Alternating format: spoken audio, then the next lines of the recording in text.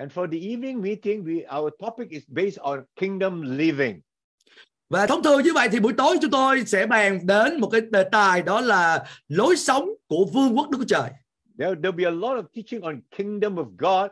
This is part of the kingdom of God teaching. Thì có nhiều sự giảng dạy về vương quốc Đức Trời hiện nay lắm. Thì ờ, cái phần mà tôi chia sẻ cho quý vị là một phần trong những cái ờ, sự giảng dạy về vương quốc Đức Chúa Trời. Yeah, it happened. We just start with the kingdom living, so we will continue until we exhaust the kingdom living uh, teaching. Ờ, vậy thì chúng ta à, đã bắt đầu cái loạt bài này và chúng ta ở trong cái phần nói về cái lối sống ở trong vương quốc Chúa Trời và chúng ta cứ tiếp tục giảng dạy cho đến khi mà chúng ta đề cao à, đề xướng một cái lối sống theo như vương quốc Chúa Trời.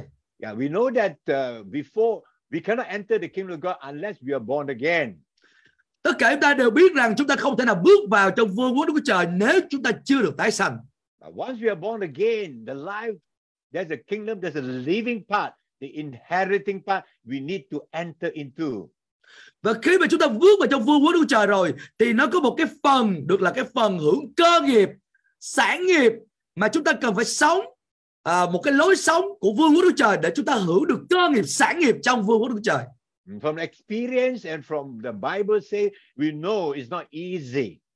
Dựa trên kinh nghiệm của cá nhân tôi cũng như dựa trên kinh thánh thì chúng ta biết rằng để thừa hưởng được cơ nghiệp trong vương quốc Chúa Trời không phải là điều đơn giản đâu. In order to this, this, this life fruitfully and victoriously, we need to persevere.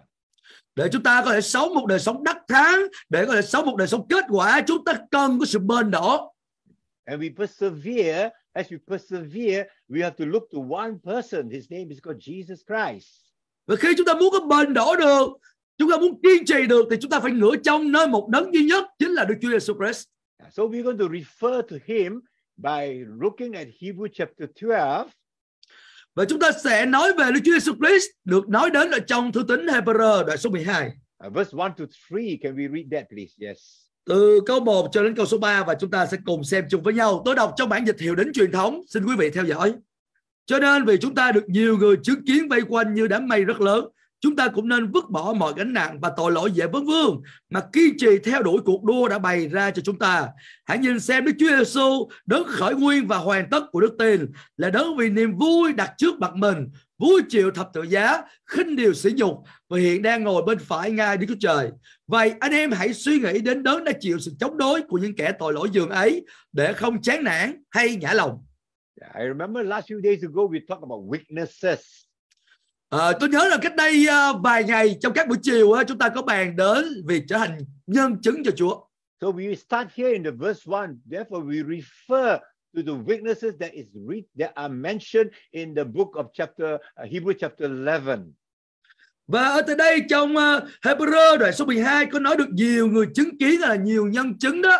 Và những nhân chứng này một số người được liệt kê tên của họ trong Hebrew đoạn số 11 là đoạn You trước may đó. yeah, yeah. You may notice in Hebrew chapter 11, there are many hero and heroine of faith for us to learn from them.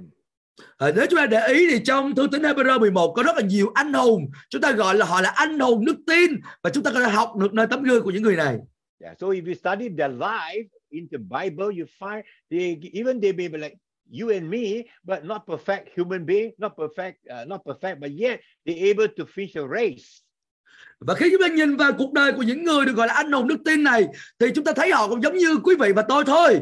Có nghĩa là họ có đời sống cũng chưa phải là hoàn hảo trọn vẹn gì, nhưng do vậy họ vẫn có thể hoàn tất cuộc đua mà Chúa đã bày ra cho họ. So we are going to learn from them. On the other hand, here in these three verses, there's something we need to remember. The word is called endurance. Ờ, và chúng ta có thể học được nơi tấm gương của những người này. Và đặc biệt ở trong Hebrew đoạn số 12 tại đây một trong những điều chúng ta có thể học được đó là chúng ta có học được sự kiên trì bền đổ The last part of he- uh, uh, verse 1, let's run with endurance the race God set before us. cái phần cuối câu số 1 thì nói rằng là chúng ta hãy lòng kiên nhẫn kiên trì mà đeo đuổi cuộc đua đã dành sẵn ở chúng ta. And verse 2, we do this by keeping our eyes onto Jesus, the champion or the author and the future of faith.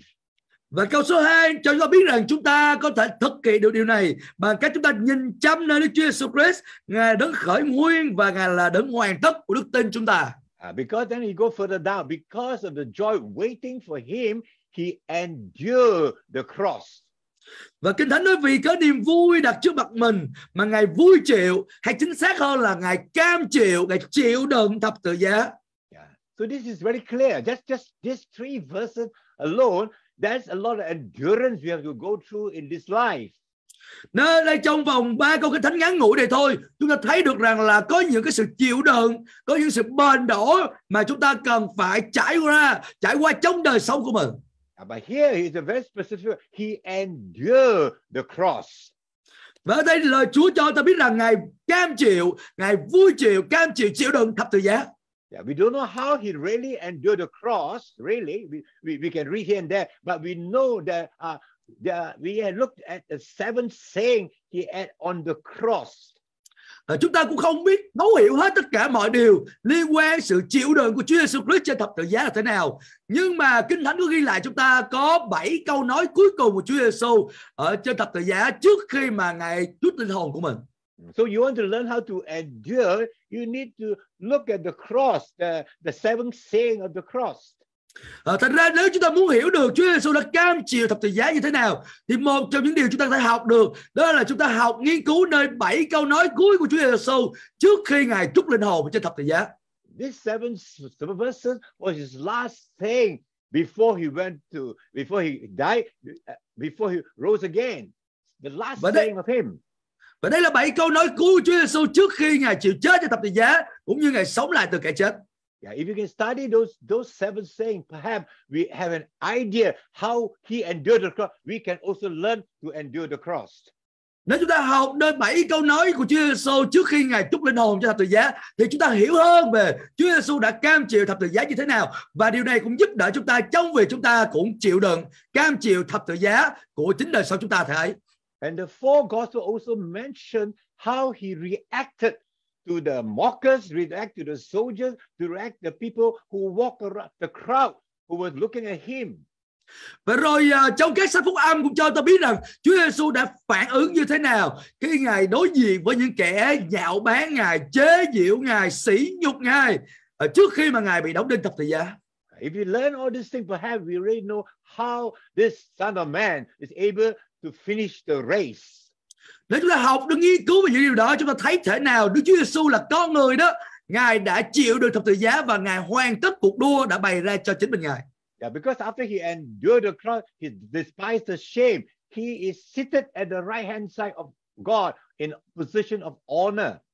Bởi vì sau khi Chúa Giêsu ngài cam chịu thập tự giá khinh điều sỉ nhục thì Kinh Thánh nói rằng là ngài hiện đang ngồi bên phải ngai Đức Chúa Cha và đó là cái nơi của vị trí cao trọng, một vị trí đáng kính trọng. His high position represents that he has make it finally as a son of man. Và cái vị trí cao trọng đó cho ta biết là cuối cùng Chúa Giêsu đã làm xong, đã hoàn tất những cái gì mà ngài cần phải thực hiện. Yeah, when he when he died, that was the end of his probation as a man on earth. Ờ, thành ra khi mà Chúa Giêsu chịu chết như vậy là Ngài làm xong cái vai trò mà Ngài cần phải thực hiện như cương vị là một con người ở trên đất này. Yeah, I want you to know all of us are under on under probation while we were walking on earth. Ờ, đây cũng là điều chúng ta thấy được cái sự chuộc tội mà Chúa Giêsu thực hiện chúng ta khi mà Chúa Giêsu ở trên đất này. There'll be many tests, many temptations, many things to overcome. Có rất nhiều Chúa, điều Chúa Giêsu à, bị thử nghiệm, thử thách, nhiều cám dỗ mà Chúa Giêsu cũng đã trải qua mà Ngài thắng hơn. when- yeah, when the Lord look at us, He look at us as overcomer. Và rồi ngày hôm nay chúng ta cũng trải qua những cái điều đó và khi Chúa Ngài nhìn thấy chúng ta thì Đức Chúa Trời Ngài nhìn thấy chúng ta như là người chiến thắng. Amen. So yeah, so we're going to look at the seventh saying. Yeah. Nên bây giờ quay trở lại chúng ta sẽ nói về bảy câu nói của Chúa Giêsu. Yeah, In the month of June, I, I had taught the same saying, but I want to repeat it, uh, added something more. À, hồi tháng 6 vừa rồi tôi cũng dạy một số điều tương tự giống như thế này nhưng bây giờ tôi sẽ bổ sung thêm Some of you may have heard that before, but there's going to be more. à, một vài người trong quý vị có thể nghe à, một phần những gì tôi chia sẻ hồi tháng 6 rồi nhưng mà trong cái phần này tôi sẽ nói nhiều hơn nữa I believe the Holy Spirit will give us more, more revelation, more uh, uh, solid meat for us. À, tôi tin là Đức Thánh Linh Ngài đã ban chúng ta thêm sự khải thị từ nơi Chúa giống như là đồ ăn đặc và giống như thịt thức ăn đặc mà Chúa ban chúng ta I suppose tonight we can finish the first saying, I hope. Ờ, tôi hy vọng là buổi tối ngày hôm nay chúng ta nói được một câu nói đầu tiên một câu nói trong bảy câu nói của Chúa Giêsu tôi hy vọng như vậy thôi The first saying is Luke chapter 23, verse 34. Bây giờ câu nói mà chúng ta sẽ nói ờ, về ờ, câu của Chúa Giêsu ờ, mà nói ra trong Luca 23 câu 24 Father, forgive them, for they don't know what they do. And he they divided his garment and cast lots. in Luke 23 right 23, Luke 23, 34, verse 34. Yeah. Câu 34 thì đúng hơn. Luca 23 câu 34 Chúa Giêsu cầu nguyện với họ rằng Lạy cha xin tha cho họ vì họ không biết điều mình làm điều gì. Yeah, there are six other which I don't think I want to go through them, even mention, but we will talk about them as we go along. Ờ, thì ờ, có những cái câu sáu câu nói còn lại thì ờ, chúng ta càng nói thì chúng ta có thể đề cập đến. Tôi không chắc là tôi sẽ nói cho chi tiết ờ, cái phần đó. Yeah, the first saying is called the saying of forgiveness.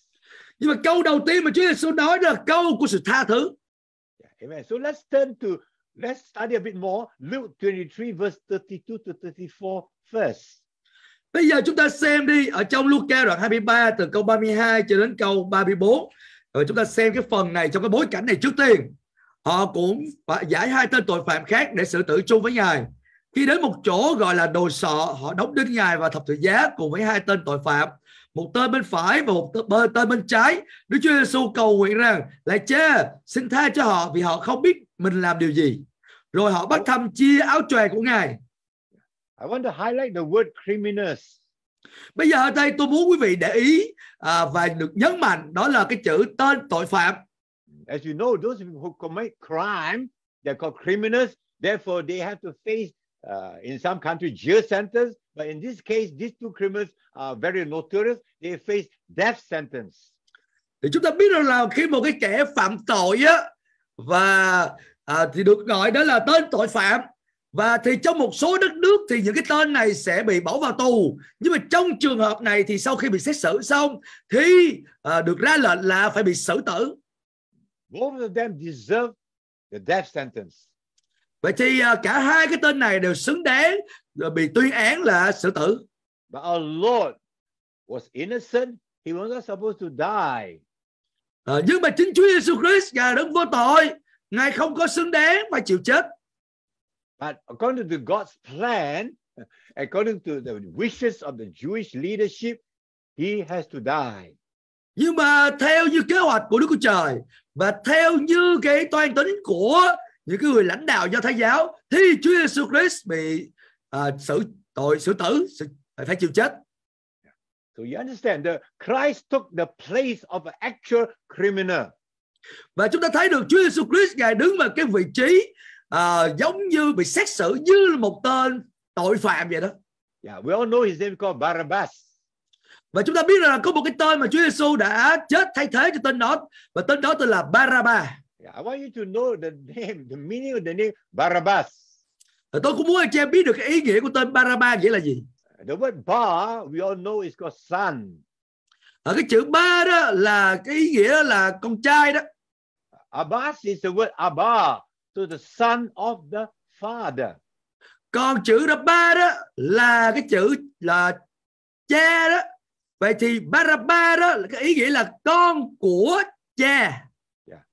Gu- Barabbas was guilty of what we call rebellion. Ờ, thì à, Barabba là bị xét xử là có tội và cái tội đó là tội phản loạn. À, đối với là chính quyền La Mã đó Not only rebellion, but in, in the course of rebellion, I don't know when whether it's in the course of rebellion or whether he actually other time murdered somebody. Ờ, thì tôi cũng không chắc lắm rằng là ông này là chỉ là vì ông nổi loạn thôi hay là vào một cái thời điểm nào đó ông cũng đã phạm tội giết người luôn Yeah, as far as we are concerned, uh, as we, when he uh, you kill somebody, death sentence is very justifiable. Ờ, thì chúng ta cũng hiểu được nếu như mà một ai mà đi giết hại người khác thì cái việc mà người đó bị ờ, quy tội là phải xét bị xử tử là cũng là điều đáng phải chịu thôi giết For người là phải đền mạng law, as long as you rebel against the state and murder, you face death sentence. rồi theo như luật của đế chế La Mã thời đó thì khi mà một người mà à, nổi loạn chống lại chính quyền La Mã thì cũng bị kết án là xử tử Yeah. In the Roman law, there are a few ways to to to die to to handle the death sentence. The, the worst is crucifixion. đối với luật của người La Mã thì có một vài cái phương cách khác nhau để họ xử tử một cái người gọi là phạm tội nhưng mà cái tội cái cái cách mà hành bị xử là đóng đến trên thập tự giá là cái cách mà tệ hại nhất. This this Barabbas, he had a rebellion. So in the eyes of the Jewish people, he was a hero. à, cái tên Baraba này đó ông này là một cái tên nổi loạn tạo phản đối với đế chế La Mã nhưng mà trong con mắt của người Do Thái thì ông này như là một anh hùng vậy đó Yeah. You see, our Lord was innocent. In fact, Pontius Pilate declared three times that he was innocent. và Chúa Giêsu Christ chúng ta thì ngài đã hoàn toàn vô tội và ngay cả chính Pontius thì ông cũng đã ba lần tuyên bố rằng là đã thấy rằng là ông này không có tội gì cả ông Giêsu này hoàn toàn vô tội I was very, I was very, it was very interesting for me to discover Barnabas has a full name. và ờ, tôi cũng ngạc nhiên về điều này là khi mà tôi nghiên cứu về ông Baraba đó thì ông này có tên đầy đủ của ông You know his full name? quý vị có biết tên đầy đủ của ông là gì không It's called Jesus Barabbas. Cái tên đầy đủ của ông này là Giêsu Baraba Yeah, this find in Matthew chapter 27, verse 16 to 17 in my English Bible called the Good News Bible. Ờ, ờ, thì ờ, là trong cái bản dịch Good News trong tiếng Anh á, thì ở trong uh, Matthew đoạn 27 câu uh, 17 18 đó thì ờ, có nói cái tên của ông này đó là Giêsu Baraba đó là bản dịch Good News tạm dịch là bản dịch phúc âm cái tên của bản dịch trong tiếng Anh đó Ừ. I was told more than good news. There are a few other versions, but I only found where you find good news. So he's called Jesus Barabbas. Ờ. tất nhiên là có nhiều bản dịch khác nhau nhưng mà tôi đang trích ra từ cái bản dịch được gọi là bản dịch Good News trong ờ, tiếng Anh đó thì cái ông này có tên đầy đủ là Giêsu Baraba Yeah. Jesus, we know, is our Savior, the Son of the Father. Ừ. Ta hiểu được là danh Giêsu Giêsu có nghĩa là gì? Giêsu nghĩa là đấng cứu thế.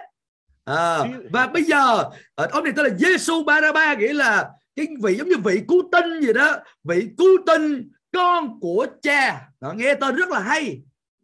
Do you find some resemblance here? Ờ, anh chị em có nhìn thấy được cái điều gì không? Mang tính là giống như là cho chúng ta nhìn thấy cái đi cái hình ảnh gì ở tại đây không? Definitely a resemblance. Ờ, nó có cái hình ảnh để chúng ta nó mang tính là ờ, có cái ý nghĩa đó I'm surprised. Hallelujah. Hey, there's a resemblance. But this Barabbas, he operated in the flesh. Ờ, nhưng mà ở đây chúng ta thấy được rằng là ông Baraba này á, ông vốn dĩ là ông sống theo kiểu xác thịt của ông He did not die. nhưng mà cuối cùng á, ông không có phải bị xử tử ông không phải bị chết vì cái tội của ông But Jesus Christ, he died. Nhưng mà về phần Chúa Giêsu Christ thì ngài lại phải bị xử tử ngài là phải bị chết It's interesting. điều rất là thú vị phải không ạ It's very interesting. rất là thú vị đó So it doesn't mean whether you die or alive. As even you serving God, walking by the Spirit, you may even die. But it's, God allows it. Thành ra cho tôi thấy một cái điều gì ngay cả khi anh chị em hầu vì Chúa anh chị em bước đi anh chị em sống cho thánh linh thì vẫn có cái trường hợp là Chúa cho anh chị em phải chịu chết luôn chứ không phải cứ ờ, bước đi theo Chúa sống trong, trong thánh linh là không bao giờ phải chết cả Ờ, tại vì trước sau thì cũng chết mà miễn là chết trong ý muốn của Chúa là được rồi And then you realize the Lord Jesus come, he he will come a second time. The first time is to be a savior, the second time to be a judge. và chúng ta biết rằng Chúa Giêsu Christ một ngày kia ngài sẽ quay trở lại ngài quan lâm và khi ngài đến thế gian này lần thứ nhất thì ngài đến trong cương vị là đấng cứu thế đấng cứu chuộc nhưng mà lần thứ hai ngài đến trên đất này thì ngài đến trong cương vị là đấng phán xét là quan tòa So what I learned from I learned now from here. Oh, it's not the result that counts, it's what God wants you to do now that counts.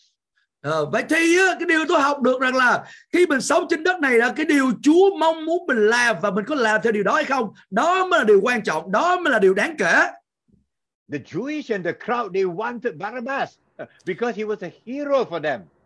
đối với người do thái lãnh đạo do thái giáo đó thì họ mong muốn là chính quyền la mã tha cho baraba bởi vì trong cái con mắt của họ thì baraba là một vị anh hùng They were operating in the natural. mà ông Baraba thì ông sống theo kiểu tự nhiên sống theo kiểu là xác thịt Amen. When you open the natural, it's it's, it looks right, but actually it's wrong.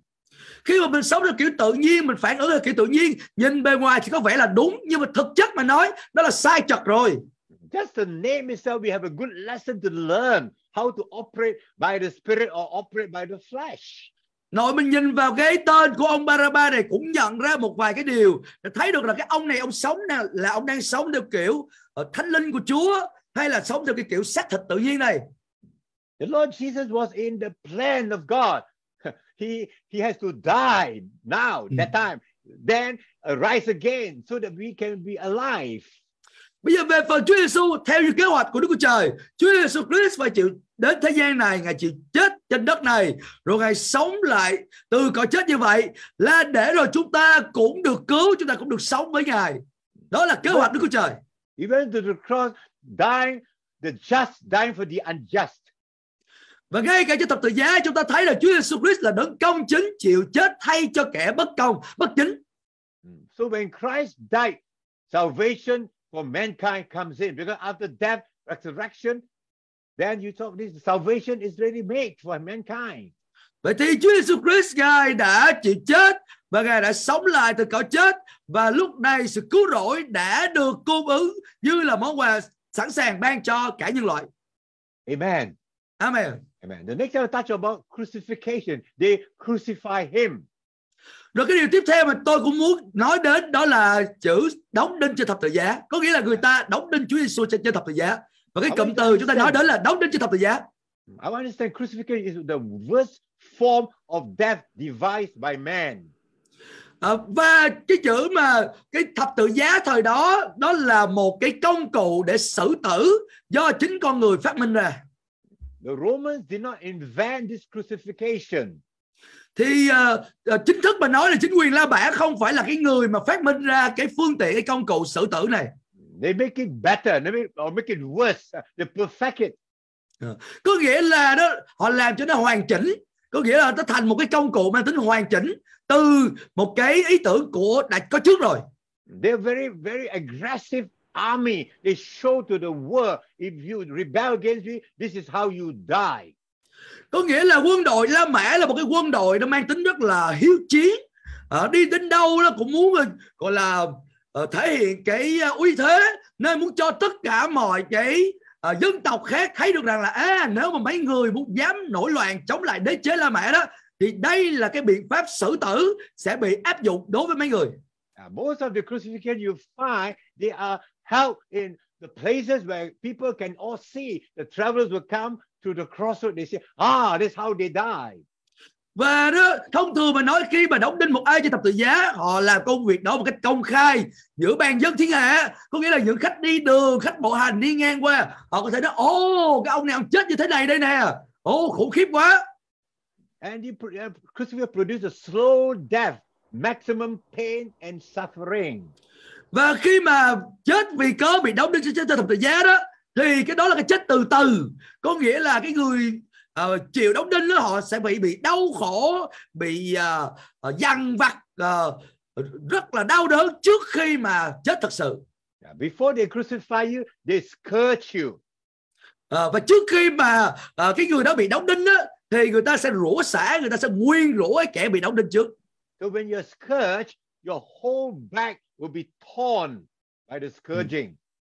Ờ, và rồi á, ờ, người ta sẽ giống như là ờ, giống như là lột trần là cái người mà bị đóng đinh nó giống như là bị xé đồ ra ờ, phơi bày cái lưng ra So before they scourge you, they take out your you don't you don't wear the clothes. So they you are stripped naked.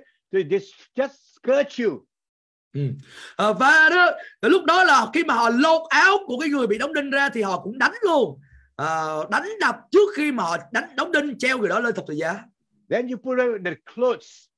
Ờ, sau đó người ta khoác một cái áo vào giống như khoác một cái áo một cái khăn che vào So when you reach a place of crucifixion, you take out your clothes again.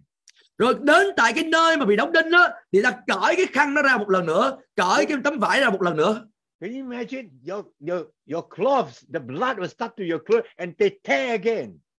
Vậy anh chị hình dung đi lúc mà mình bị đánh trước đó rồi là máu me chảy ra đúng không nào thì à, khi mà vải được à, mặc lên trên người của mình có nghĩa là nó sẽ gây rất là sót cho da của mình rất là đau bây giờ khi mà lúc chuẩn bị bị treo trên thập tự giá giờ lại xé cái áo mình ra một lần nữa họ lau cái áo mình một lần nữa thì lúc này á nó rất là đau nó rất là sót cái da của mình When they crucify you, they put you on the ground. There's a bar. There's, there's Mm. a, a crossbar. They put you Mm. on the crossbar, but your whole body will touch the ground. thì à, khi mà họ đóng đinh mình đó thì đầu tiên họ sẽ đặt mình nằm dưới đất à, đặt mình lên trên cái thanh của thập tự giá đó cái cái cái lưng của mình đó thì bị đặt trên thanh của thập tự giá nhưng mà cái thân thể của mình đó là nó nằm ở trên mặt đất vậy đó And now your wounds on your body mixed with dirt, mixed with mud. Và lúc này là cái gì? Thương tích ở trên thân xác của mình nó sẽ bị rất là sót bởi vì sao? Bởi vì cát rồi bụi rồi đất đó, nó bắt đầu nó giống như là nó vấy lên trên thân thể của mình mà thân thể đó bị chảy máu. And you, you understand the insect will come, the whole body wound, the flies, the I don't know what will come around your body. và quý vị hình dung trong cái hình ảnh đó thì côn trùng á những con ruồi bọ rồi những cái con mà nó thích cái mùi máu á cái mùi mà chết á tanh tưởi á đó, nó bắt đầu nó bu vào và nó rất là khó chịu trên thân xác của cái người mà à, bị xử tử lúc đó And when they drive the nail onto your hand, it's not here, drive to the wrist. Ừ. thì khi mà họ đóng đinh á, cái người đó là họ không phải đóng trên bàn tay đâu mà họ đóng trên cái vùng cổ tay giống như thế này nè Your wrist, there's a vein here, the nerve Hmm. there, it will be broken. Thì lúc này nó ở tay cái vùng này đó nó có cái à, ven nó giống như là cái động mạch của chúng ta tại đây nè. Đó. Và nó sẽ bị vỡ ra vì đinh nó bị đóng vào trong cái vùng này. When your nerves are broken, you suffer pain in your hand. à, và khi mà tức những cái dây thần kinh rồi à, à, động mạch của mình nó bị tổn thương như vậy máu nó chảy ra và rất là đau đớn.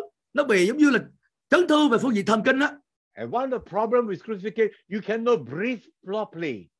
và một trong những điều khác nữa khi một người bị đóng đinh như vậy thì họ không thể nào thở như một người bình thường được Your body, the whole body is trying to make yourself breathe. Therefore, some of your muscle will be affected. Some of your your your your body shape will be out of out of shape. Ờ, rồi lúc này là cơ, cơ thể mình phải rướn lên để thở rất là khó để thở mà mình phải rướn lên để thở thành ra lúc này là cơ bắp của mình nói chung là nó phải à, nó phải hoạt động nó nó nó nó, nó, nó ngoài cái ngoài cái cái vị trí bình thường của nó nó không có giống như là nó bị biến dạng đi It is, it is, that's why I'm discussing is by a doctor who studied crucifixion. và từ đây cũng là cái sự nghiên cứu của một cái vị à, bác sĩ tiến sĩ đó khi mà ông này nghiên cứu về cái việc mà bị đóng đinh trên thập tự giá Amen. Some of them die of heart attack because it affects your heart. Và có người á, là lúc đó là bị đột quỵ là chết luôn là bởi vì cỡ là tim á, bị chấn giống như là nó bị nhồi máu cơ tim vậy đó đó là chết à, lúc mà trước khi bị treo lên luôn Not only insects are there, but you have also what you call the vulture hovering around. Đó, rồi á, chúng ta thấy được rằng là không chỉ là có những à, con trùng đúng không à, nó nó bu trong người của của cái người bị à, xử tử mà nhiều khi là kền kền á kền kền á mấy con mà ăn xác chết á là nó cũng đã chuẩn bị trước rồi là chỉ cần người đó chết là nó tới nó xử. So you lose blood, you cannot breathe properly, you are exhausted. Oh, it's terrible, terrible torture. Vì vậy nên đó là vừa là m- máu máu chảy ra rất là nhiều nè rồi thở rất là khó nè rồi đau đớn nè rồi chịu mệt mỏi rất là nhiều đó thật ra cái người đó là kiệt sức là đau đớn là khốn khổ là cung cực There's an English word called excruciating pain. Ờ, cái từ trong tiếng Anh đó là đau đớn cùng cực giống như một cái sự đau đớn from the hoại. word crucify, nó- crucifixion. Ừ. tiếng Việt mình không thể diễn đạt hết được nhưng mà gọi là đau đớn vì cớ bị đóng trên thập tự giá là một cái đau đớn nó cung khổ cung khốn thống khổ Amen. This is the work on the cross. Vậy thì à, đây là cái công tác mà Chúa Giêsu đã thực hiện cho chúng ta trên thập tự giá. The life, his life has to be given. Tại nơi đó thì sự sống của Chúa Giêsu đã phó ban cho chúng ta. Then we talk about the Passover lamb. The Passover lamb is pointing to this lamb on the cross who give the life for the world. về sau này chúng ta sẽ nói kỹ hơn liên quan đến là chiên con được uh, sử dụng trong ngày lễ vượt qua nhưng mà chúng ta sẽ nói trước một phần đó là chiên con đó là hình bóng để chỉ về Chúa Giêsu Christ ngài là chiên con à, bị đóng đinh bị giết vì cớ chúng chúng ta vì tội lỗi chúng ta And the book Exodus chapter 12 talk about the, the, the lamb had to be without blemish. Thì uh, ở trong sách xuất Ai Cập ký á, khi nói về chiên con được dùng để uh, giết trong ngày lễ vượt qua đó phải là không tỳ vết The Lord Jesus without sin, therefore he's without blemish. Chúa Giêsu Christ ngài là không có tội lỗi gì cả. Nên Chúa Giêsu Christ ngài là không tỳ vết không chỗ trách được. Uh, Therefore he's able to pay the ransom price. và bởi cái đó là Chúa Giêsu Christ có thể trả cái giá để chuộc tội chúng ta Therefore, when he when he the life was given, his precious unique blood was shed at Calvary. Nên khi mà huyết Chúa Giêsu Christ đổ ra là huyết Chúa Giêsu Christ rất là đặc biệt, rất là độc đáo, không có ai có huyết giống như chính mình ngài cả và huyết đó đã đổ ra tại đồi Golgotha. And the blood can wipe away the penalty, the power of sin over our life. Và chính huyết Chúa Giêsu Christ có thể à, xóa sạch tất cả mọi cái tội lỗi, mọi quyền lực của tội lỗi, mọi hậu quả của tội lỗi trên đời sống của chúng ta. The, the precious unique blood is able also to wipe away the guilt of sin over our life. Và quyền năng của huyết báo Chúa Giêsu cũng có thể thanh tẩy tất cả mọi cái sự định tội, mọi cái mặc cảm tội lỗi ở trên đời sống chúng ta luôn. That's why, therefore, when we sin against God in First, First John chapter one, we sin against God. His precious blood will wipe away our sin, and God will forgive us. us. Ờ, và đó lý do vì sao chúng ta có lời của Chúa trong thư tín gian nhất là một câu số 9 là Chúa nói rằng là nếu chúng ta xưng tội mình Chúa là đấng thanh tín ngài là là đấng công chính để tha thứ mọi tội lỗi chúng ta và tẩy sạch chúng ta khỏi mọi điều bất chính And the other work He has done on the cross is not just wiping this away our sin and so forth, but also taking the wrath of God that was meant for you and me upon Himself. và khi Chúa Giêsu Christ ngài chịu đóng đến thập, thập tự giá không chỉ là để chuộc tội chúng ta mà thôi nhưng còn để làm thỏa mãn để làm nguôi cơn thịnh nộ của Đức Trời đối với tội lỗi à, trên con người trên quý vị và trên đời sống của tôi Therefore, you and I don't have to face the wrath. đó là lý do vì sao quý vị và tôi chúng ta không cần phải đối diện với cơn thịnh nộ của Đức Trời đối với tội lỗi This wrath comes upon every person who do not believe in the work of the Lord Jesus Christ. nhưng mà cơn thịnh nộ của Đức Trời sẽ giáng trên tất cả mọi kẻ nào không tin nơi công tác mà Chúa Giêsu Christ đã thực hiện cho nhân loại tại thập tự giá tại Golgotha. That is what is crucifixion all about. Ờ, đó là ý nghĩa của việc Chúa Giêsu bị đóng đinh trên thập tự giá là như vậy. Amen. The blood Amen. be shed. Hallelujah. Huyết máu của Ngài phải bị đổ ra. Yeah, and usually the practice before they went to the cross, they were scourged. Và thông thường đó người ta áp dụng cái biện pháp này đó là trước khi một người bị đóng đinh trên thập tự giá như vậy thì cái người đó phải bị đánh đập trước tiên. Yeah, let's go to Matthew chapter 27, verse 25, 26. Chúng ta cùng xem đi trong Matthew 27 câu 25 và 26. And all the people answer, His blood be upon us, upon our children. Verse 26. And he, Pilate, released from for them Barabbas and having scourged Jesus, Hmm. delivered him to, the, to be crucified. Câu 25 nói rằng là cả dân chúng đều trả lời xin huyết của nó đổ trên đầu chúng tôi và con cháu chúng tôi. Vậy Phi-lát tha cho Baraba cho họ và đánh đòn Đức Chúa Giêsu rồi giao ngài để đóng đinh vào thập tự giá. Yeah, the, the scourging, it was it's a very severe punishment. Cái việc mà đánh đòn tại đây là một cái sự trừng trị rất là đau đớn. Those people are weak. Even if they don't have to go to cross, they will die on the spot. Nếu mà người nào mà yếu quá đi á, là không cần phải đến lúc mà bị đóng đinh trên thập tự giá đâu. Khi mà bị đánh đòn như vậy thôi là đủ- cũng đã đủ chết rồi. But if you read John chapter 19, Nhưng mà bây giờ nếu chúng ta xem qua trong gian 19 á, uh, verse 1 and verse 12, câu 1 và câu 12 the Pontius Pilate was trying to to please the crowd by just scourging Jesus Christ so that he doesn't have to let him to go be crucified. Trước đó đó là Phi-lát muốn làm hài lòng dân chúng và ông nghĩ rằng là thôi bây giờ cho đánh đòn ông Giêsu này được rồi để rồi à, làm thỏa mãn cho dân chúng để rồi khỏi à, phải à, đóng đinh trên thập tự giá làm gì cả Because Pontius Pilate realized that this man was innocent. bởi vì ông Pontius Pilate ông nhận ra được rằng là ờ, Chúa Giêsu là hoàn toàn vô tội And second reason, he hated the Jewish leaders because he, he didn't respect them. He didn't he has something to do with them. He wanted to release Jesus Christ to spike them. Dạ. và cái điều thứ hai là Chúa Giêsu cũng không có thích không có ưa gì mà những lãnh đạo do thái giáo cả nên Chúa Giêsu ngài muốn giống như là sỉ nhục họ à, bằng cách là kiếm cái cớ để rồi tha cho Chúa Giêsu à, và khi mà tha Chúa Giêsu như vậy thì đó là cách mà Pontius muốn áp dụng để rồi sỉ nhục cái những người lãnh đạo do thái giáo lúc đó But later on, he realized he cannot do anything because he's, he's quite a weak person. Number two, he was afraid. Uh, he was quite political. He was a compromising man. Ờ, nhưng mà về sau ông mới phát hiện ra có nghĩa là ông Pilate phát hiện ra là mình không thể làm được kiểu đó bởi vì ờ, nếu mà ông thấy rằng ông có vẻ yếu thế hơn là dân do thái lúc đó và cái ông này cũng là cái người ờ, theo cái biện pháp chính trị có nghĩa là muốn ờ, muốn mị dân muốn được lòng dân chúng nên là ông muốn chiều cho dân chúng That's why he did what they call the prophetic of washing his hand with water, thinking that will wash away his sin. Ờ, thì đó là lý do vì sao ông làm cái biện pháp giống như là mang tính chính trị bằng cách ông kêu người ta lấy nước ra cho ông rửa tay để rồi ông ra vẻ rằng là cái chuyện này tôi không có trách nhiệm gì hết tôi không có tội gì hết đó nha cái chuyện là chuyện của mấy người đó và rồi ông phủi tay giống như là vậy đó phủi tay và vũ bỏ trách nhiệm Yeah, I remember uh, we go in verse 5, 25, all the people answer. À, và chúng ta để ý từ đây trong ờ, phần kinh thánh lúc đó là cả dân chúng đều trả lời When you say all the people, it means the, it's a big crowd of people.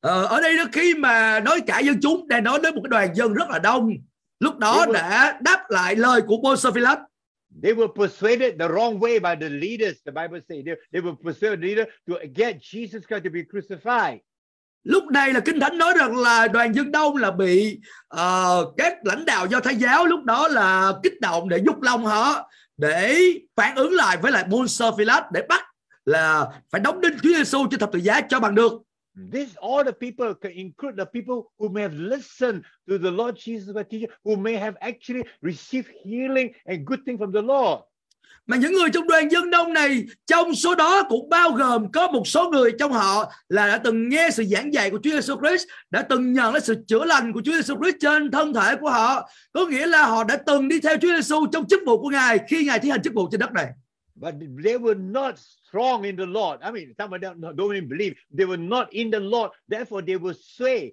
to do the wrong thing.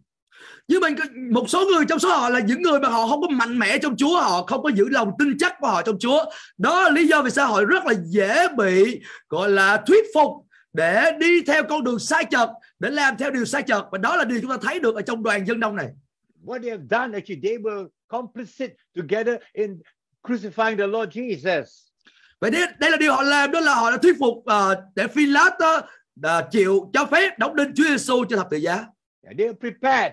They are prepared to call curses to come upon them.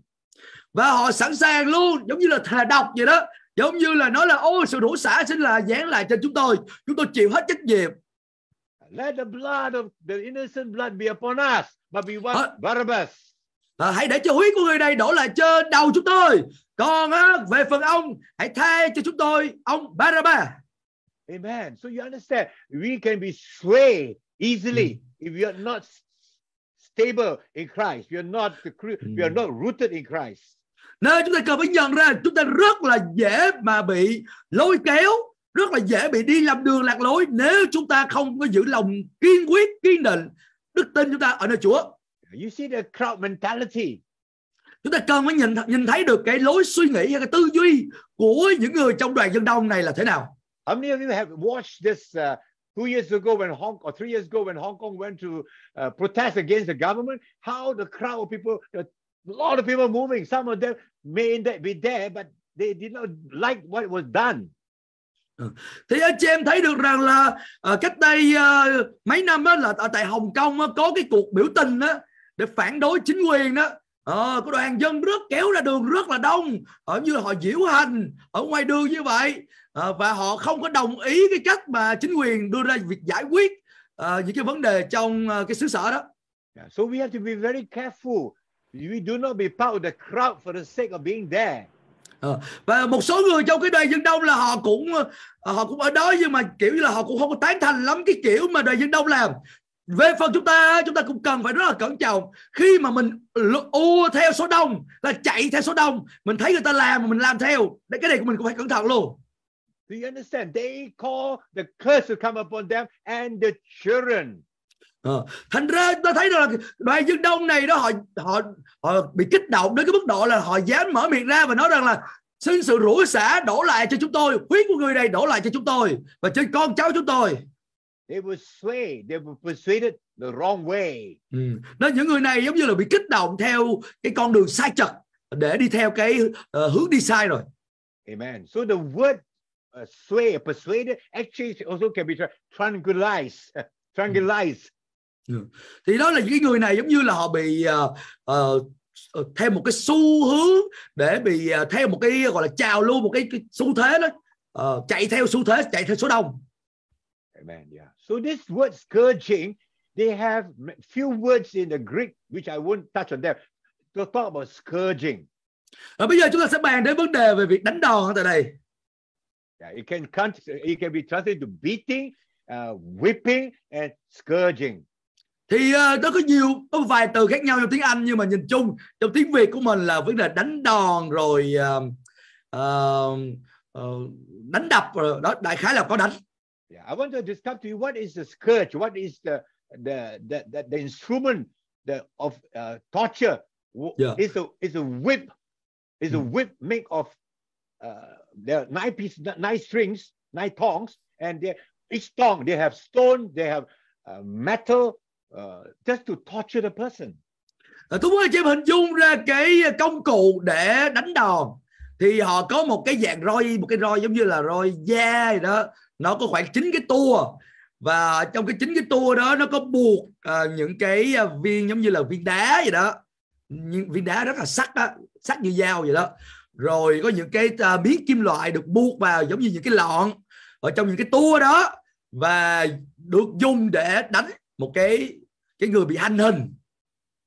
And the person who will be scourged, he will be stripped off his clothes, at least the shirt, and then he'll be hanged on a stick, a pole, like that.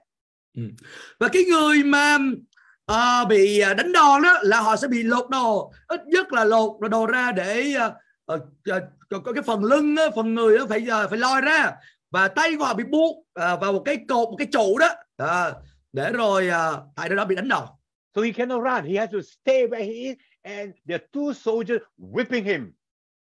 Và cái người đó thì không thể chạy đâu được cả tại vì bị trói bị buộc một chỗ rồi.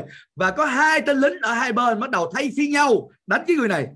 Yeah, there- there's a whip with nine thorns, rocks, iron, nails, whatever. They whip, two of them whip same, I don't know when same time, but they whip.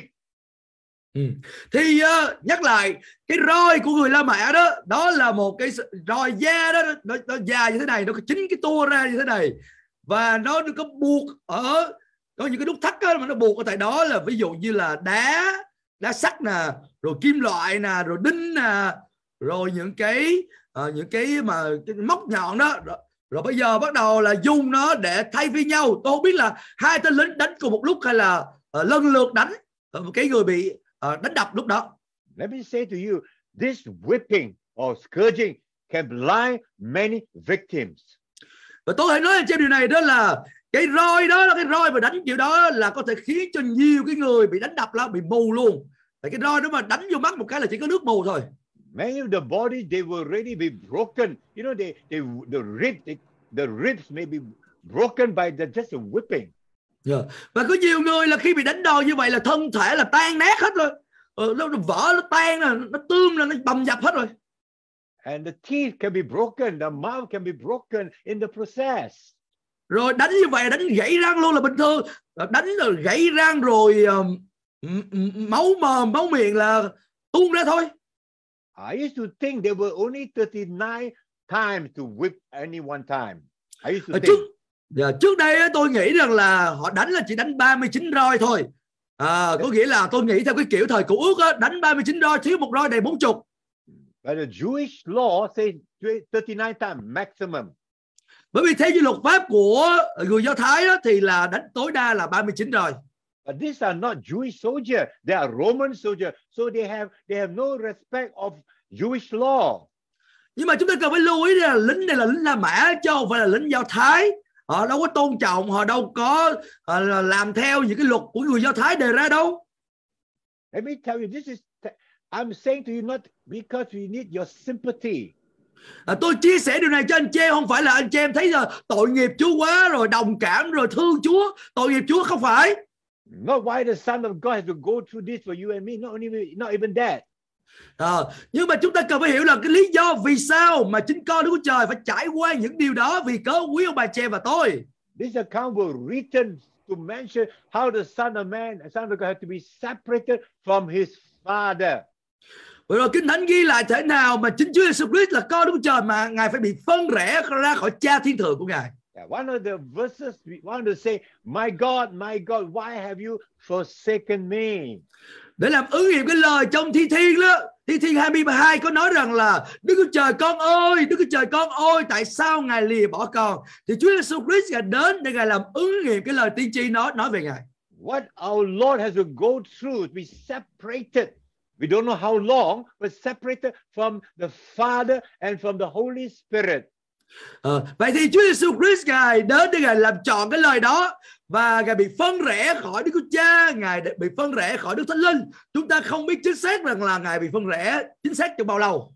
They are they were written to tell us because our spiritual rebellion, the Son of God has to suffer.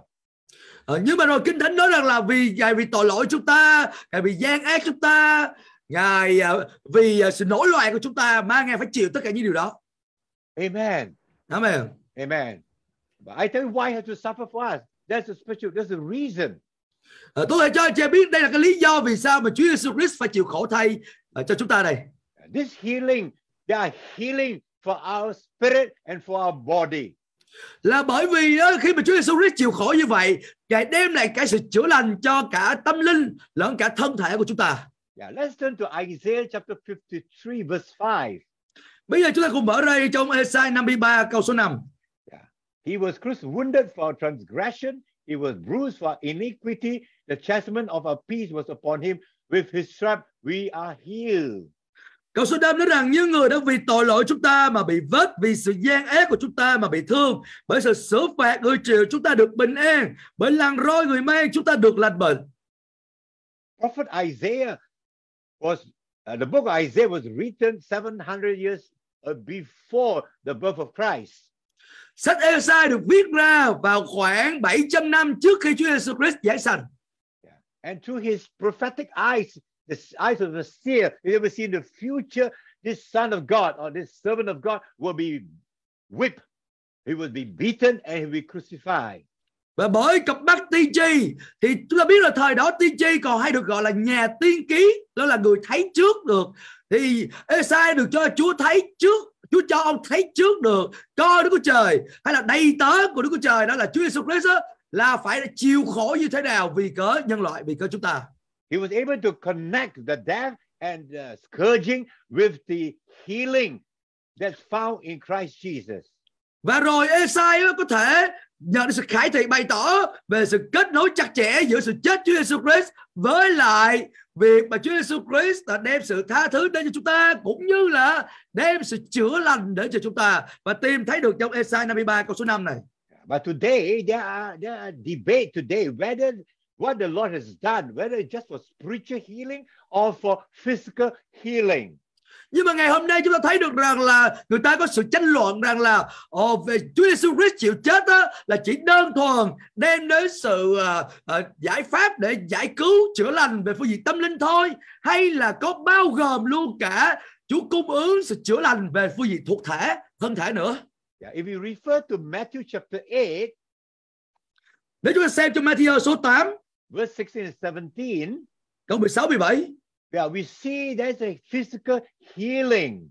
thì chúng ta thấy được ở đây có bao gồm luôn cả sự chữa lành về phương diện thuộc thể nữa. If you go to 1 Peter 2, 24 and 25, we see there's spiritual healing. Còn nếu chúng ta xem tiếp trong Matthew đoạn 8 câu 24 25 thì chúng ta thấy được là có bao gồm luôn cả sự chữa lành về phương diện thuộc linh luôn. Có nghĩa là Lý bao gồm cả thuộc linh lẫn thuộc thể. We can conclude safely both are available in the death, in the scourging and the death and resurrection of Jesus Christ. Vậy chúng ta có thể kết luận một cách chắc chắn rằng là ở trong sự đấu chịu đánh đập của Chúa Giêsu, sự chết và sự sống lại của Chúa Giêsu, Ngài cung ứng chúng ta cả về sự chữa lành thuộc thể lẫn về giải pháp để đem sự chữa lành về phương diện thuộc linh. As the Lord was walking on earth, healing physically, today He's still healing physically. Khi Chúa Giêsu ngài thi hành chức vụ trên đất này thì chúng ta thấy được rằng là ngài có đem sự chữa lành đến cho người khác về phương diện thuộc thể và cũng giống như vậy ngày nay cũng có sự chữa lành về phương diện thuộc thể đối với chúng ta ngày nay. Amen. So in other words, you for me, this is my personal, I believe both. Nên đối với tôi, tôi tin rằng là nó có cả hai, cả chữa lành về phương diện thuộc linh lẫn về phương diện thuộc thể. In terms of importance, of course, the spiritual healing is the most important. Nếu mà xét về cái nào là quan trọng nhất thì chắc chắn rồi, sự chữa lành về phương diện thuộc linh phải là quan trọng nhất. Yeah, because for the physical healing is only for this part of life. Bởi vì sự chữa lành về phương diện thuộc thể nó chỉ có cái yếu tố ở trên đất này mà thôi. Trên cái cuộc đời chúng ta còn sống trên đất này thì chúng ta cần nhận sự chữa lành thuộc thể.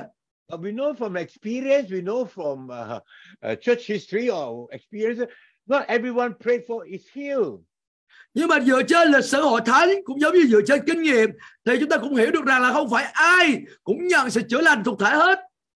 And of course, a lot of preachers say it's because they lack of faith. Và tất nhiên là nhiều cái người giảng lời Chúa họ sẽ quy cho họ nói rằng là à tại vì mấy người này yếu đức tin hay là thiếu đức tin nên không được chữa lành. And maybe we say because they lack of faith, their sin in their life, all these are may perhaps true, perhaps only excuses. Ờ, và rồi ờ, họ nói rằng là có thể những người này là có gì tội lỗi trong cuộc đời của họ thì có lẽ cũng có những cái trường hợp là đúng là như vậy nhưng mà trên một phương diện khác thì đây cũng chỉ là một cái lời biện minh bào chữa mà thôi But but let's be so. But we all know God. The promise of God, yes and amen. We're talking about not now on this earth, and we're definitely in heaven. chúng ta cần phải tất cả chúng ta đều biết được rằng mọi lời hứa của Đức Chúa Trời dành cho chúng ta trong đấng Christ đều là phải đều là thật và amen và chúng ta biết rằng cái điều đó là đúng trong cõi đời đời, đời này và chắc chắn là đúng trong cõi đời đời Yeah, because all the promises, even today, even our salvation, bởi vì mọi lời hứa của Chúa dành cho chúng ta ngày hôm nay bao gồm luôn cả sự cứu rỗi Chúa dành cho chúng ta amen. We were saved, yes. à, đúng rồi chúng ta được cứu nè đó là điều chắc chắn we are being saved, À, chúng ta đã được cứu chúng ta đang trong quá trình được cứu and we will be saved. và rồi chúng ta sẽ được cứu có nghĩa là ba cái thời ba cái thì á, đã được cứu đang được cứu và sẽ được cứu So God is God promised, yes amen. But there's when you die, for example, after you sick, you die. But that's the best healing, I always say. nhưng mà tôi thể nói như thế này nè nếu như mình lỡ mình có bị bệnh và vì có cái bệnh đó mà mình phải qua đời thì lúc mình qua đời là mình chắc chắn được chữa lành rồi và cái sự chữa lành mà khi mình vì có qua đời đó thì đó là sự chữa lành tốt nhất lý tưởng nhất là bị mình bước vào trong cõi đời đời không có bệnh tật So for me, very simple. I will pray when I get sick. I will pray. Đối với tôi điều này rất là đơn giản nếu mà tôi lỡ có bệnh thì tôi cầu nguyện Yeah, so far, the Lord's been very good. I've been praying, praying. The Lord always heal me. Đó, tính đến thời điểm này Chúa luôn luôn tốt lành với tôi có nghĩa là những lời tôi cầu nguyện như vậy Chúa luôn luôn chữa lành cho tôi But should He one day decide not to heal me of particular sickness, I will still submit to Him. Ờ, thì á, nếu lỡ tôi lỡ một ngày nào đó thôi mà vì có một cái bệnh nào đó mà ờ, tôi không có được Chúa chữa lành đi chăng nữa thì ờ, rốt cuộc tôi về với Chúa tôi gặp Chúa thì chắc chắn tôi tôi cũng được lành thôi Yeah. Before I submit to Him, I want to check whether it was sin in my life. tất nhiên là tôi cũng đầu phục Chúa nếu như mình chưa được chữa lành nhưng mà nếu như mà ờ, tôi trong trường hợp đó tôi hỏi Chúa là à, Chúa ơi trong đời sống con có tội nào không mà con chưa được lành That's why got the hindrances to healing, the hindrances to God answering our prayer. Thì chúng ta gọi đó là những cái ngăn trở à, để chúng ta chưa nhận sự chữa lành hay còn gọi là ngăn trở để lời cầu nguyện ta chưa có được nhầm Amen. Amen Amen. Recently, just some a brother uh, from Middle East, he asked me to pray for his father and his friend in another part of Middle East. thì mới đây có một người anh em kia ở tại vùng Trung Đông mới có nhờ tôi cầu nguyện cho cha của anh và một người bạn của anh cũng ở tại vùng Trung Đông luôn The first thing I do now, I, are they safe? À, thì à, cái điều đầu tiên tôi hỏi các người anh em đó rằng là à, những cái người đó đã được cứu chưa? Uh, he told me, uh, my father, Roman Catholic, and this one I forgot. Both not saved. À, thì à, cái người anh em đó nói với tôi rằng là cha của tôi là theo công giáo La Mã, còn cái ông bạn kia thì cũng có nói nhưng mà tôi quên rồi. À, nhưng mà đại khái là hai cái người đó, hai vị đó là chưa có được cứu. I said, let's pray for both of them to be saved. Thì tôi nói rằng là thôi bây giờ mình cầu nguyện cho hai cái vị đó được cứu trước cái đã. Amen. That's number one. Number two, step, let's pray for the healing. Rồi đó là điều thứ nhất và đó điều thứ hai đó là cầu nguyện cho cả hai nhận lấy sự chữa lành. His friend, 30 something years old, died just two days ago. Cái người bạn của anh này là cách đây khoảng hai ngày gì đó là qua đời. I suppose his father, remember there's a brother from India, Vino, uh, Pastor No, you remember? Some Yeah, yeah, yeah, ago. yeah, yeah, yeah. yeah. His father, yeah. So his father is older. His father perhaps about 50, 60. The father sick, recover, Yeah. Recover, go back to hospital again. And now he's back to home. Yeah. Còn cái ông cha của cái người bạn của tôi đó, ông này tên là anh anh bạn tôi tên là Vino đó. Thì uh, cha của người bạn tôi là đi vô bệnh viện sau được chữa lành. Ờ, xong rồi ờ, sau đó tái khám rồi nhập viện lại sau đó bây giờ đi về nhà rồi đại khái là bây giờ là khỏe rồi người cha thì được khỏe được chữa lành còn cái ông ờ, cái người bạn của bạn tôi đó là qua đời rồi So he told me, I said, you, so he managed to speak to the father, but father claimed, oh, I'm a Christian. The father think he's safe. Ờ, thì ờ, lúc đó tôi nói với người bạn của tôi rằng là bây giờ nên nói về Chúa cho cha của mình đi nhưng mà cái ông cha thì ông nói ông nghĩ ông là công giáo công giáo La Mã rồi ông là cơ đốc nhân rồi nên ông được cứu rồi không cần phải tin Chúa nữa So I've been praying for him with my friend that he be saved. I don't know how he can be saved, but we have to pray. That's all. nên ờ, tôi cầu nguyện cùng với người bạn của tôi để cho cha của bạn tôi nhận được sự cứu rỗi tôi cũng không, không biết cách nào để người cha nhận được sự cứu rỗi nhưng mà mình ờ, hiệp lòng cùng đức tin với người bạn để cha nhận được sự cứu rỗi I didn't hear from him. That means the father is okay in terms of healing. Hallelujah. Ờ, thì ở trong hai ngày qua thì tôi cũng chưa nghe tin tức gì cả nhưng mà ờ, tôi nghĩ là ok là ổn Ờ, liên quan đến vấn đề về cha đã được chữa lành rồi So for all our promises, God, we pray, believing. vậy thì tất cả những lời hứa nào mà từ nơi Chúa dành cho chúng ta trong đấng Christ á, thì chắc chắn là amen thôi và chúng ta à, nhận lấy Ờ, bao gồm luôn cả lời hứa về sự chữa lành We would like to happen now. We all want to happen in this earth. nhưng mà thông thường ấy, chúng ta sẽ muốn là, là nhận lấy cái lời hứa ngay bây giờ đang khi mình còn sống trên đất này chứ mình cũng không có thích lắm là về với Chúa mới nhận But remember, God is sovereign. He knows better than you and me. nhưng mà cũng nhớ rằng là Đức Chúa Trời là đấng nắm quyền tại trị tối thượng và Chúa biết rõ nhiều thứ hơn là anh chị em và tôi biết đó Not only he's involved in our life, but he wants, he wants the best for us. Ngài không chỉ là quan tâm đến đời sống chúng ta mà thôi nhưng mà Ngài mong muốn điều tốt nhất cho chúng ta nữa Even if you go through some sicknesses or some suffering, the Lord knows it will help us to develop something. We don't know what is that. Ờ, nhiều khi chúng ta có thể có thể những lúc trải qua những cái khó khăn những cái nghịch cảnh và Chúa biết là, là qua những cái điều đó có thể phát triển một cái điều gì đó ở trong chính đời sống chúng ta Ờ, tôi không biết điều đó nhưng mà Chúa có thể bày tỏ cho anh chị em biết điều đó Don't give up praying. vậy vậy nên lúc đó mình đừng có bỏ cuộc trong sự cầu nguyện Don't give up believing. đừng có từ bỏ đức tin và cứ tiếp tục tin cậy nơi Chúa đi But it's bit different from what you pray for. Ask God why. And why is the nice way? You know, Uh, please explain to me. Ờ, và nếu như cái điều mà anh chị nhận được nó khác với điều anh chị cầu xin thì anh chị cũng hỏi Chúa ơi, Chúa ơi lý do vì sao nhưng mà mình phải nhớ là mình phải gọi là lễ phép mình phải tôn kính Chúa nha chứ mình đừng có hỏi theo cái kiểu ra mặt chất vấn Chúa là không có được Uh, even he doesn't respond to you. Never mind. Take it. No response as a response. Ờ, nhưng mà cho- nếu mà Chúa vẫn chưa trả lời thỏa đáng cho chúng ta thì mình cũng hãy nhận lấy câu trả lời của Chúa hay là nhận lấy cái sự đáp ứng đó của Chúa phản ứng đó của Chúa chứ đừng có ép Chúa ừ. That is what we call our faith in the Lord. và đó là lý do mà chúng ta gọi đó là chúng ta phải có đức tin nơi Chúa là như vậy Yeah, we can only see, but we actually, you know, we are selfish. Of course, it's natural. We want the best for ourselves, but never mind. No, God want the best for us. thông thường chúng ta cũng rất là ích kỷ chúng ta nghĩ cái gì đó là tốt nhất cho chúng ta là chúng ta nặng nặng muốn bằng được nhưng mà chúng ta cần phải phát triển đức tin lên nơi Chúa và chúng ta luôn luôn tin cậy rằng là Chúa mong muốn điều tốt nhất cho chúng ta Amen.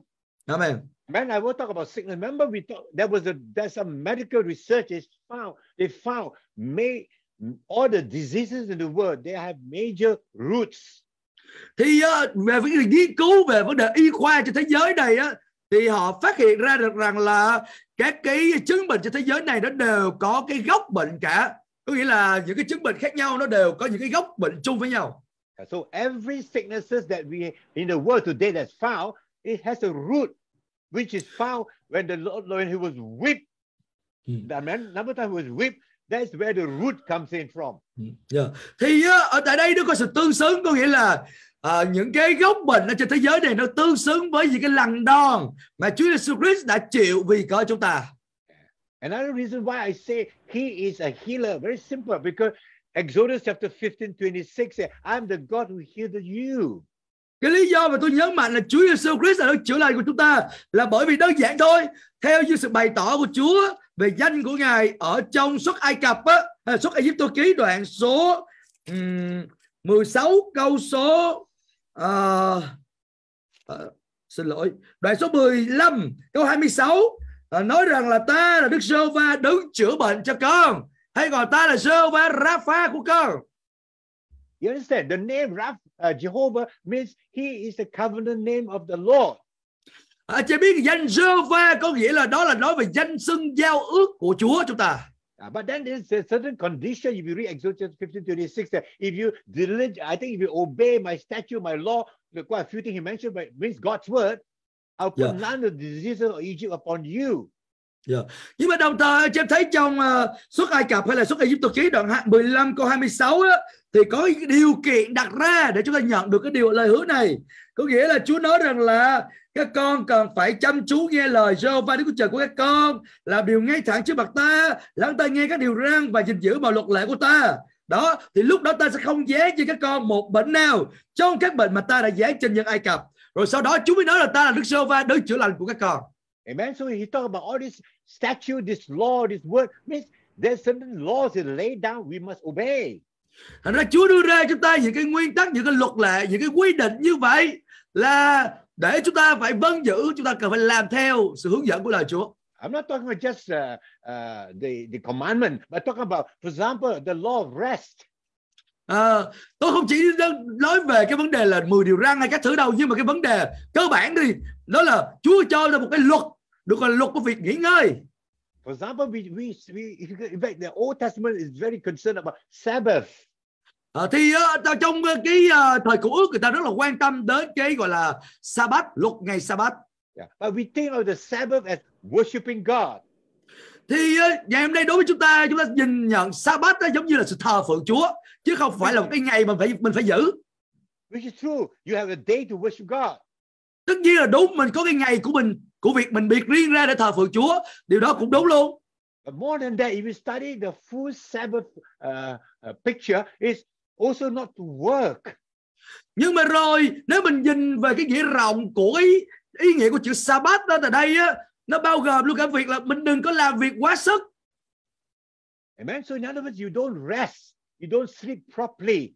That will affect your immune system. You all know that, right?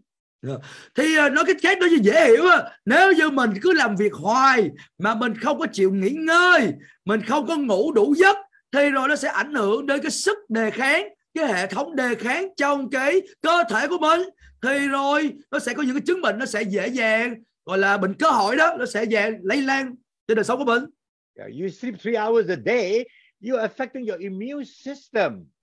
nếu bây giờ mình một ngày như vậy mình ngủ có 3 tiếng đồng hồ thôi thì chắc chắn là cái hệ thống sức đề kháng của mình sẽ bị ảnh hưởng rồi So you take Sabbath just besides worshiping God, take uh, the rest God has imposed. Even He rested on the seventh day. Remember in the book of Genesis. rồi vậy thì chúng ta hiểu được rằng là cái cái ý nghĩa sa bát nói chung là mình phải chịu nghỉ ngơi ngay cả Chúa đó ngày thứ bảy ngài nghỉ công việc của ngài anh chị em nhớ điều đó không ạ thì về phương diện cơ bản mình cũng phải nghỉ ngơi chứ không thể nào mình làm việc việc quá sức được God doesn't need rest. He- He's almighty, but He showed you an example. You and I need rest. He rested, so you rest. Ờ, Chúa về phần ngài ngài không phải là mệt mỏi rồi ngài cần phải nghỉ ngơi nhưng mà lý do vì sao ngài nghỉ ngơi là bởi vì ngài làm gương chúng ta để chúng ta ý thức là chúng ta phải bắt chước Chúa chúng ta cũng phải chịu nghỉ ngơi nữa And the reason for Leviticus talk about the dietary law. Rồi bây giờ chị em nhớ trong Lê Vi Ký á, thì cũng có cái luật về vấn đề ăn uống For us, is we don't have to apply that dietary law. đối với chúng ta ngày nay chúng ta không cần phải áp dụng theo cái luật ăn uống của thời cựu ước But those for you study those things that happen, those unclean food, they are not good for health. nhưng mà anh chị em cũng cần phải hiểu rồi mình cũng phải học chịu học để mình tìm hiểu xem những cái thức ăn nào nó dơ nó bẩn mình ăn vào nó không có tốt cho sức khỏe của mình thì mình đừng có ăn nữa Amen. You see my application. So in other words, you rest, obeying the, the Sabbath. You if you eat properly, then you don't Mm. have a then less problem with your body. Ờ, Thế ra mình hiểu theo cái ý nghĩa áp dụng hay là ứng dụng có nghĩa là mình phải chịu nghỉ ngơi để cho cơ thể mình phục sức à, rồi bên cạnh đó mình ăn uống có chừng mực có điều độ ăn những cái thức ăn tốt cho cơ thể của mình à, thì rồi mình sẽ giảm thiểu được những cái nguy cơ bệnh bệnh dịch hay là bệnh tật nó sẽ gây hại đến sức khỏe của mình Amen. You understand? So this the Lord is if you if you diligent obey, and then He's uh, Jehovah the healer. vì vậy nên nếu chúng ta cứ chuyên tâm cứ hết lòng để vâng giữ lời của Chúa thì rồi theo như điều là Chúa Ngài là Đức Giê-hô-va đấng chữa lành của chúng ta Yeah, we just read Isaiah chapter 53, verse 5. The last part, He is the one to heal, heal you. It's the word Rapha, it means physician. Về từ đây chúng ta khi nãy đọc ở trong uh, uh, Esai 53 câu số 5 đó nói về việc Chúa chữa lành chúng ta. Đó là nói về cái phương diện mà cái gọi là cái địa vị chúng ta có được uh, trước mặt Chúa để nhận đến sự chữa lành từ nơi Chúa. Amen. So I, this is I want to say, you, the Lord went for the scourging. It's for all the sicknesses. À, vì vậy nên cái điều tôi nhớ mạnh tại đây Chúa Jesus Christ Ngài đã chịu tất cả những cái lần đòn những cái đòn vọt ở trên thân thể của Ngài là vì cớ Ngài mang lấy tất cả những bệnh tật đau yếu của chúng ta And you also notice every sickness has a name.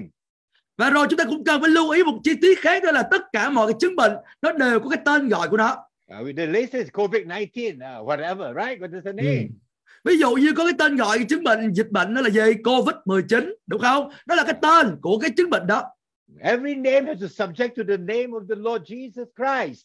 nhưng mà mọi cái danh mọi cái tên đều phải phục dưới danh của Chúa Giêsu và kinh thánh nói danh Chúa Giêsu tên Chúa Giêsu là danh trên tất cả mọi danh Amen. So we, this is important to know. So when you pray in the name of Jesus Christ, our Lord, you know what happens? Then every knee has to bow.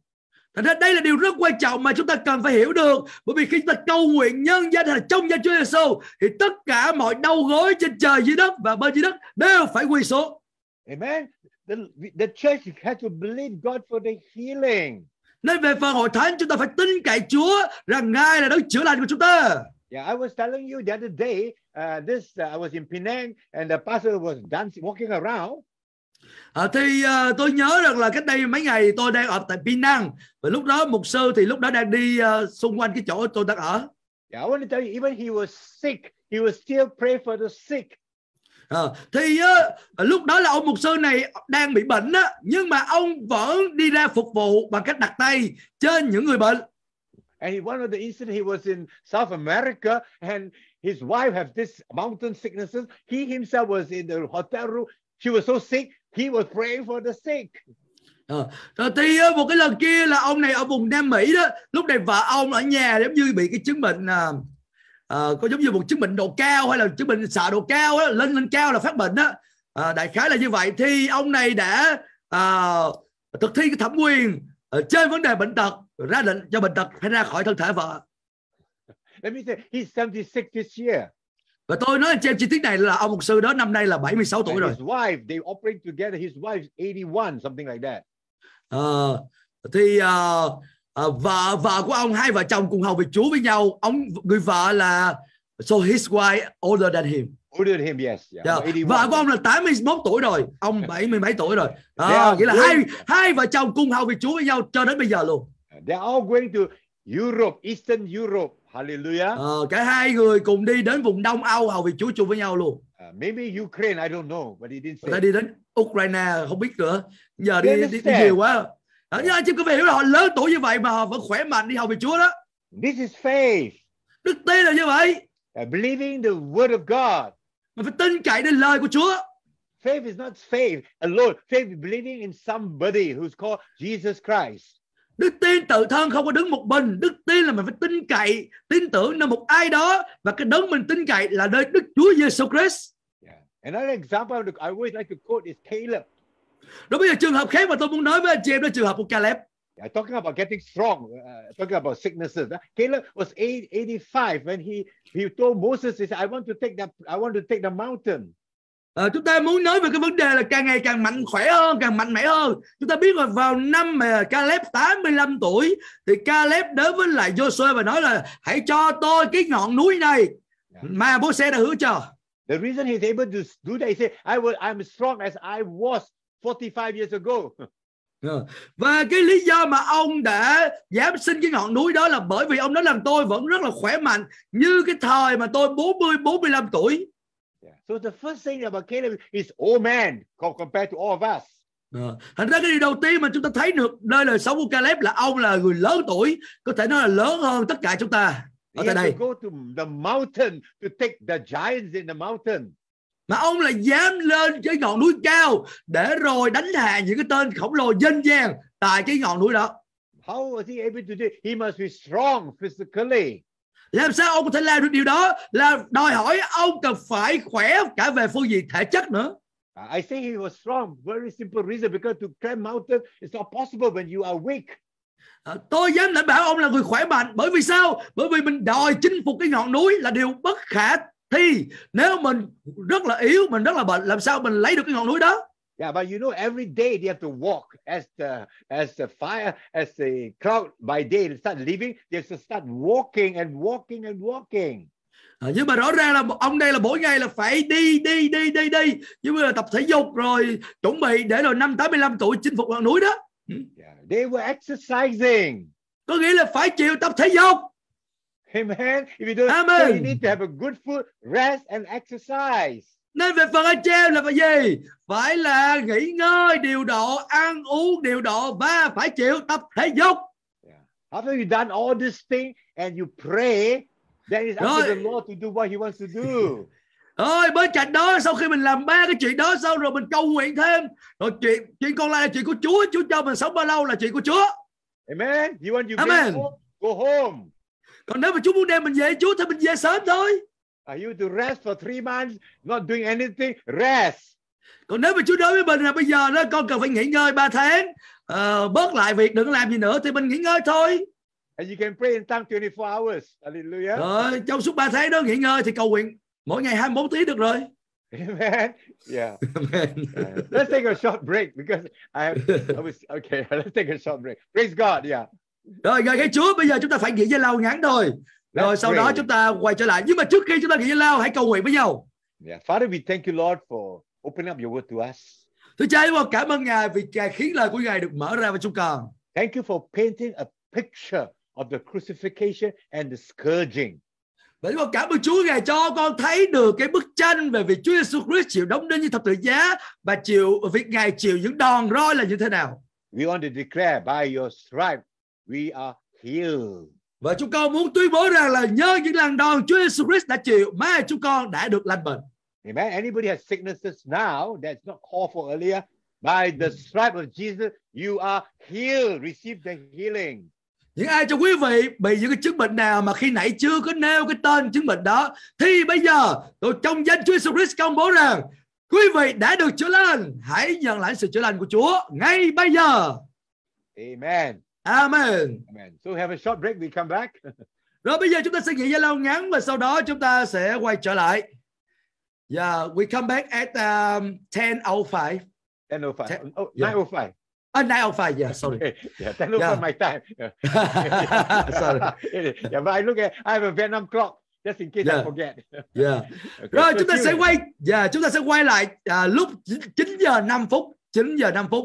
Yeah. I, I, please don't go away because the last session will cover much more point. À, tôi khích lệ quý vị, khuyên nài quý vị đừng có ra khỏi phòng Zoom. Bởi vì sau khi quay trở lại thì chúng ta sẽ nói nhiều cái điểm hơn nữa. Nên là xin vậy? kiên nhẫn. Yeah. Otherwise, you wait for one more month. It's too long.